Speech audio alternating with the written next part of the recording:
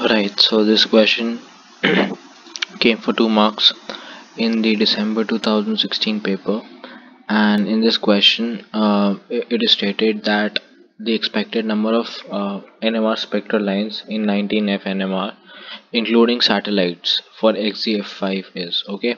Now, when uh, so this concept I had missed out in my lectures, and this is about satellite peaks. Okay, so what a satellite peaks is when the abundance of a particular element is very low okay? So what happens is for, for example first of all you need to understand two concepts over here. First of all you have to know VSEPR theory. Now in XZF5 so for XZF5 if you calculate the structure based on VSEPR theory so it's XZF5 and a negative charge is there. I have missed out.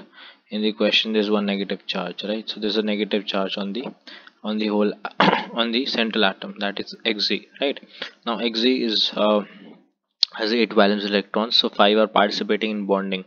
So it has 5 bond pairs okay? 5 bond pairs bond pairs 5 bond pairs right? And uh, so if, if it's for forming 5 bonds so 5 bond pairs so 5 electrons are participating in bonding and there are three electrons left right? Plus one negative charge so total four electrons. So then there are two lone pairs so five bond pairs and two lone pairs. So the structure structure will be like this. Structure will be pentag pentagonal planar okay? With the lone pairs on like this in on the along the z axis right and all the fluorines along the xy axis. So we have all the fluorines you know on equivalent distance. I mean I may not be able to represent it correctly but all these fluorines five fluorines are at equal distance. Or you can say they are in the same environment right? Fifth fluorine I can draw somewhere over here. These five fluorines are equidistant from one, one another and they are lying in the same plane okay so that means these five fluorines are in in the same chemical environment. So all these five fluorines are going to give only one single peak in the NMR right? So if I draw the NMR so you'll you'll see one single peak for this fluorine right? But it is given that this xenon. Now this xenon is also a very active is active uh, is NMR active right? And it has a natural abundance of 26 percent. This particular isotope of xenon has a, natural abundance of 26 percent okay?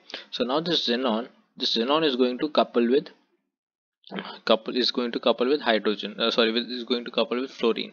Now when you see the proton NMR see in proton NMR the 13C 13C isotope the 13C carbon isotope is NMR active right? But the abundance of this 13C NMR 13C uh, carbon is very very low right? That is why you in the proton NMR you do not see peaks of the carbon hydrogen coupling right? But when you are doing the 13C NMR you have to use a decoupler in order to remove the carbon hydrogen couplings right? So when you are observing the 13C NMR you you need to use a decoupler so that the carbon hydrogen couplings are not there because the proton in the in the in the 13th NMR the hydrogen to which this, these carbons are attached they are new NMR active and its abundance is very high around 99% right? So those protons will couple couple with this carbon and the, the and the spectra will be very complicated. That's why we need to use decoupler. But when we are doing the proton NMR the abundance of this 13C isotope is so low that it does not couple and we do not see any peaks because of the coupling of the 13 carb 13c and the proton right? Now this xenon has the abundance of 26 percent. Now because of that what is going to happen is this xenon is going to couple with the fluorine because this abundance of 26 percent is quite high. And once this xenon is going to couple with the uh, couple with the fluorine now if we see the if we see the coupling so xenon 126 right?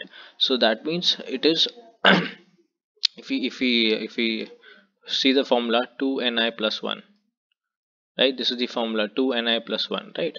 And uh, n is given to be we'll take take it to be equal to 1 right? So 1 and 2 into 1 and spin is given half into half plus 1 right? So this will be equal to 2 so it will sp split this fluorine uh, because of the coupling with xenon will split it into two peaks. And we'll observe two peaks like this. One over here and one over here.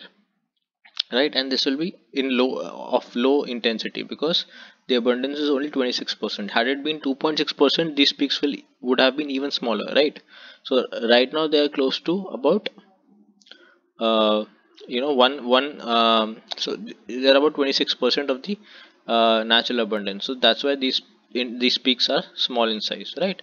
I mean not as as intense as the fluorine peak because fluorine has a lot of, has a very high abundance around 99 percent.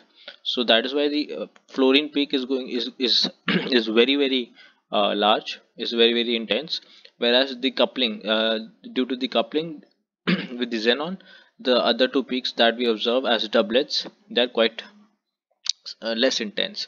So the expected number of 19f nmr spectral lines including satellites. So one is this peak and there are two satellite peaks. So the total becomes three right? So the correct answer is 3 okay